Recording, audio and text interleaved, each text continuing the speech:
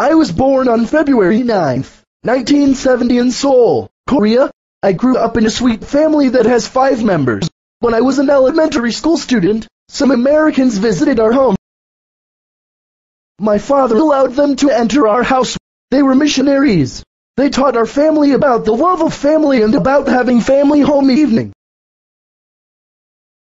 Our family became happy and interested in the gospel. As a result, all of our family was baptized in the church. I love taking care of my rose garden. It is a small garden. Time is passing so fast. When we bought this house, we planted many small trees. It tells me that I have become old. The wind is blowing through those trees. I can hear the sound of leaves. It is a nice day. I'm thinking back on the 70 years of my life. It's a very short time.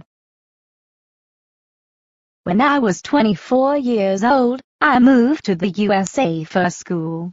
I was learning English at the BUL after studying at that school. I entered BU. My major was filmmaking.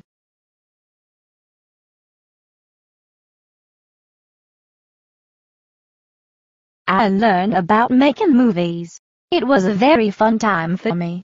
After my graduation, I found employment in Hollywood. I became an assistant director to Steven Spielberg.